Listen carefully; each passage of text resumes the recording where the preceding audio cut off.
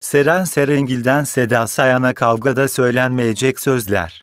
Benim doktorlara gidiyorsun Seren Serengil'in Seda Sayan'a sarf ettiği sözler magazin gündemine bomba gibi düştü. İki ünlü isim arasında sular bir türlü durulmuyor. Seren Serengil, Seda Sayan'ın kendisini taklit ettiğini iddia etti. Sosyal medya hesabından paylaşım yapan Serengil, benim doktorlara gidiyorsun, aynısını yapın diyorsun diye konuştu. Seren Serengil'in zehir zemberek sözlerine bakalım Seda Sayan ne yanıt verecek? İşte merak edilen tüm detaylar. Magazin kulisleri bu olayı konuşuyor.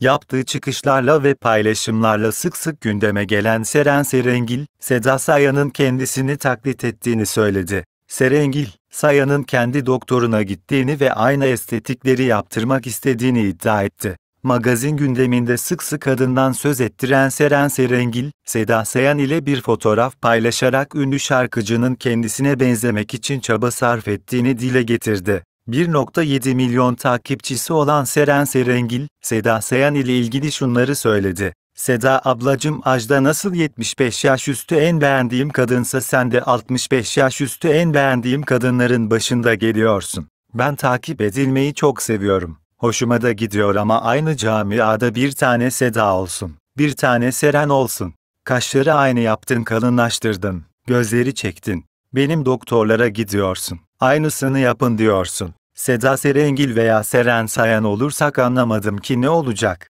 Bak üstteki fotoğrafın alttaki benim ama alttaki yine benim. Yapma ablacım, sen zaten güzeldin. Kaşlar, bakışlar saç modelleri bir sal beni artık. Konuyla ilgili Seda Sayan'dan henüz bir paylaşım gelmedi. Bu ifadelere Sayan'ın cevap verip vermeyeceği merak konusu oldu. YouTube kanalımıza abone olup bildirimleri açmayı unutmayalım siz ne düşünüyorsunuz? Hadi yorumlarda buluşalım kanalımızı izlediğiniz için teşekkürler.